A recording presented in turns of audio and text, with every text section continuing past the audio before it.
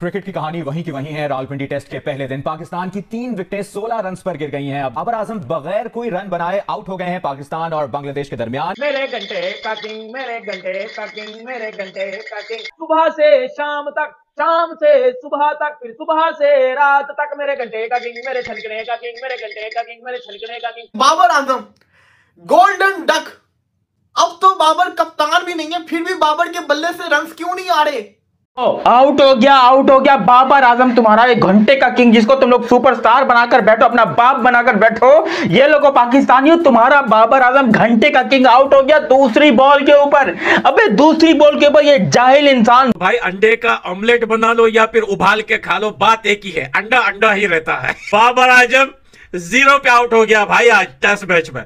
सब कुछ कर लिया लेकिन घंटा घंटा ही है भाई। जब भी आता है ज़ीरो पे बच जाता कि बाबर साहब ਉਹਦੇ ਉਹਦੇ ਪਿੰਡੀ ਦੀ ਵਿਕਟ ਦੇ ਵੀ ਇਹ ਜ਼ੀਰੋ ਤੇ ਆਊਟ ਹੋਣ ਸ਼ੁਰੂ ट्रैक्टर विकेट होती ना तो किंग कर लेगा Rai the king Bobji the king Babar Azam वो टी ट्वेंटी वर्ल्ड कप के बाद बड़े अरसे बाद दीदार हुआ बाबर आजम का वाइट हिट के अंदर चमचमाते हुए बाबर आजम आ रहे थे जितनी जल्दी वो आए उसकी डबल जल्दी वो वापस चले गए दो बॉलों पे डक बनाया या बॉब्जी दा किंग है ये केड़ा किंग है गली दा किंग है मल्ले दा किंग है मैट आप अभी ग्लोरीफाई करें बाबर आजम को आपको मेरा करता है झूठा ग्लोरीफाई किसी को मैं क्यों करूँ भाई। आप मुझे बताएँ बांग्लादेश के खिलाफ आपका ये ये नाली गली वाले का किंग है आप ये देखें विराट कोहली क्या कह रहा है मुझे किंग ना कहा करें क्यों कह रहा है इन लोगों की वजह से कह रहा है जो मानसिया उठता है। जो गली में लेकर चूहा उठता है उसको आप किंग बना देते हैं। ये आप बैटिंग कर रहे हैं शर्म करें।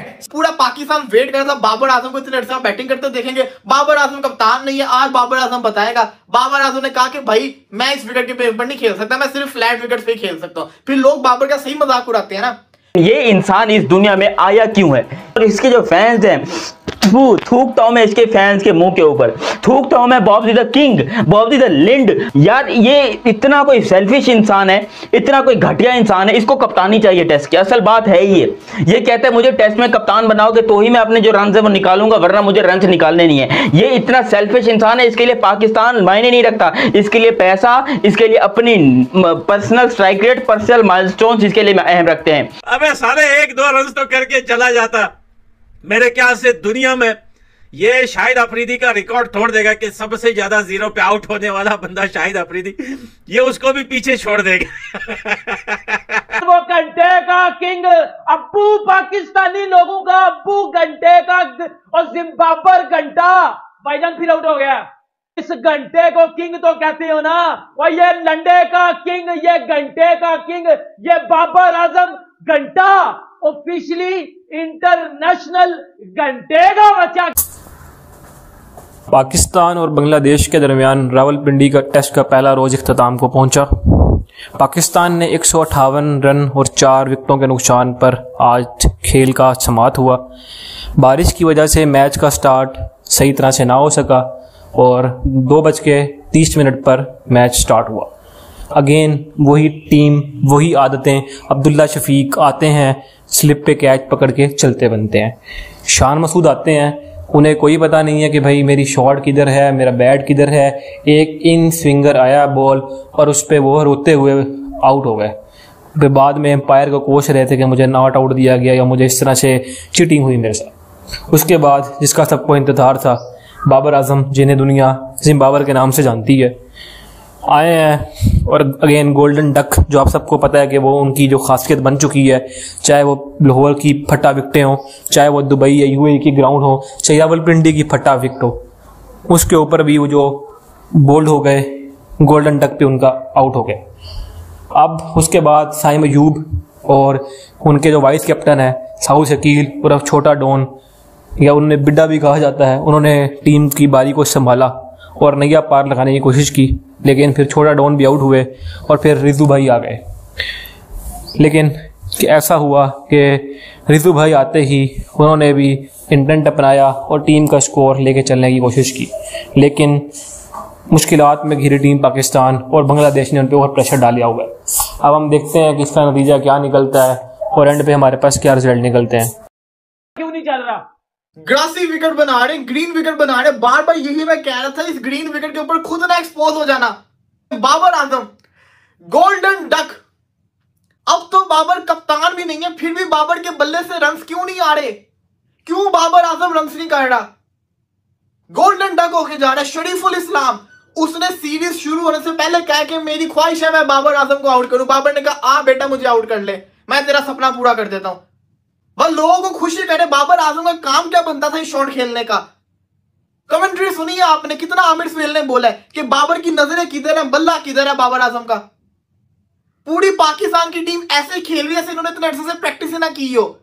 बगैर प्रैक्टिस के खेल रहे हो। बाबर आज़म को हम अपना जिसको कहते हैं किंग मानते हैं, बाबर आज़म ये क्या कर रहा है? ऐसे थोड़ी बाबर आज़म खेला करता था। ये बाबर आज़म है ही नहीं। ये बाबर आज़म ऐसा था ही नहीं।